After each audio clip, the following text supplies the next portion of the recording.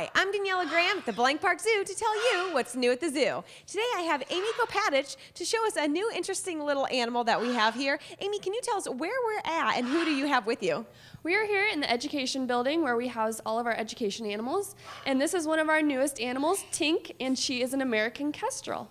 She is awfully cute. Is she full grown? Yep, she is as large as she's going to get. She's one of the smallest bird of preys here in the United States. Now, where did you get this little this little bird?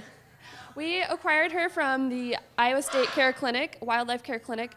Um, she was brought to them by um, some people that found her that had been attacked by a cat, and her wing was shattered, and so she was unreleasable back to the wild.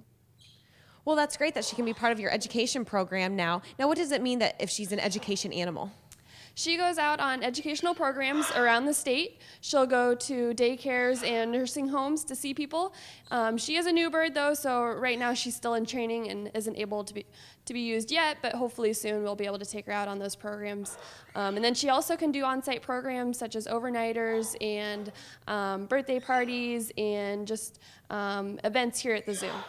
That's wonderful. Now, what does it take to train a little bird like this?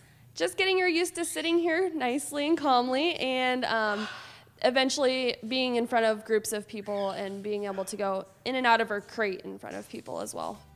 Well, thank you so much. That was Amy Kopatich, and I'm Daniela Graham, and that's what's new at the zoo.